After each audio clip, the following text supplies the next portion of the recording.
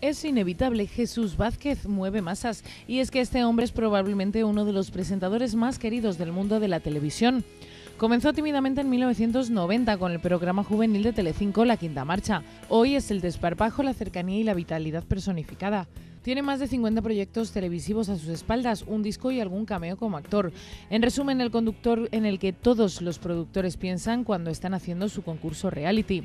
Pero además de todo esto, ahora los publicistas también le tendrán muy presente. Y es que según un estudio de Egis Media Expert y Personality Media, es el famoso que más ha aparecido en las campañas publicitarias, entre las que destaca su aparición de anuncios de Yastel, Sabia y productos del exitoso programa La Voz.